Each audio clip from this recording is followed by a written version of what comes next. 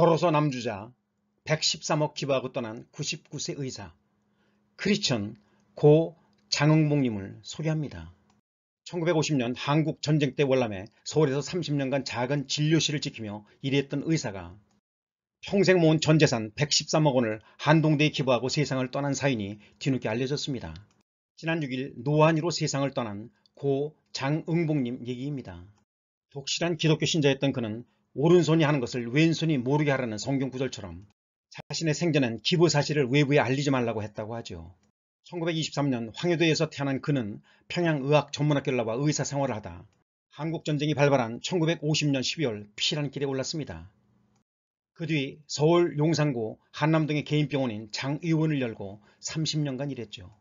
유족들은 개원할 때만 해도 한남동은 서울 변두리였는데 그곳에서 아버지는 1991년 은퇴할 때까지 밤낮으로 환자들을 돌보며 성실하게 일하셨다고 전했습니다.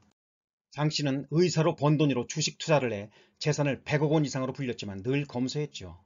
자기 소유의 자가용 한 대 없이 대중교통을 이용했고 옷도 아내인 김용선 씨가 손수 뜨개질한 것을 즐겨 입었습니다.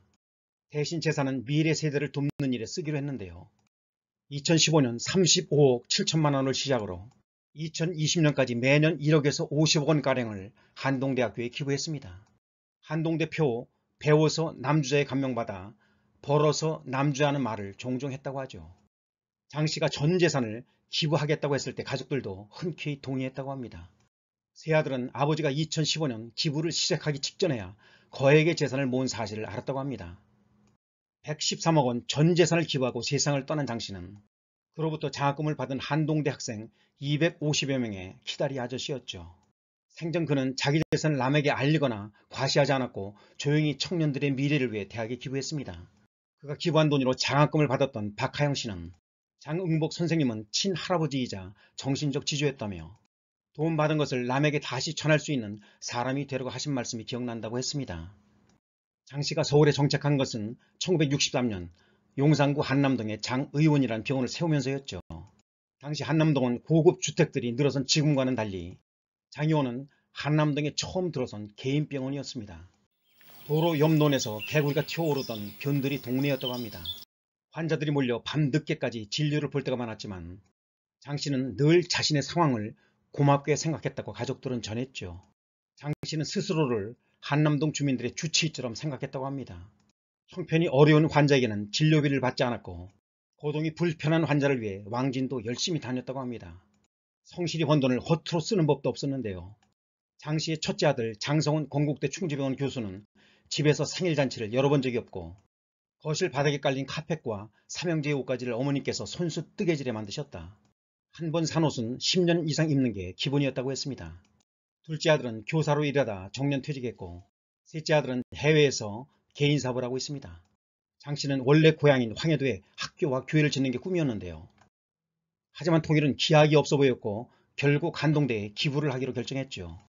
배워서 남주자는 학교 표에 감명을 받았고 학교에 찾아갔을 때도 일면식도 없는 장 씨에게 웃으며 인사하는 학생들의 모습을 보고 기부를 결심했다고 합니다.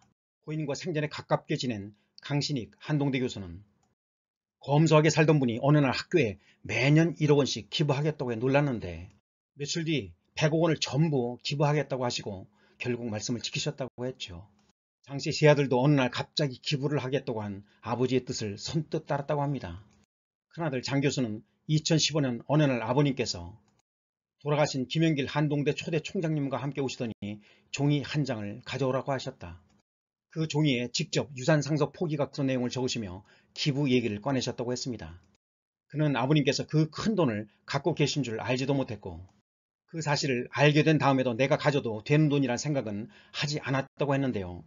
장씨의 남모를 선행은 2015년부터 2020년까지 6년간 이어졌습니다. 한동대에서 훌륭한 뜻을 알리고 싶다고 했지만 그는 내가 살아있을 때는 기부 사실을 밝히지 말아달라며 사용했죠. 강신희 교수가 수차례 설득한 끝에 사후에는 기부를 알려도 된다는 허락을 겨우 받아냈고 유족의 동의도 받았다고 합니다. 최도송 한동대 총장은 장복 기부자님의 도움을 받은 학생들은 앞으로 자기가 또 다른 사람을 돕는 삶을 살면서 선행이 대물림 된다는 걸 보여줄 것이라고 했습니다. 벌어서 남주자 113억 기부하고 떠난 99세 의사 고 장흥복님 천국에서 영면하시고 후손들에게 30배, 60배, 100배, 이삭의 1000배의 축복을 기도합니다. 오늘도 성령님과 동행하며 축복받는 하루가 되시기를 기원합니다. 크리스천 튜브였습니다. 감사합니다.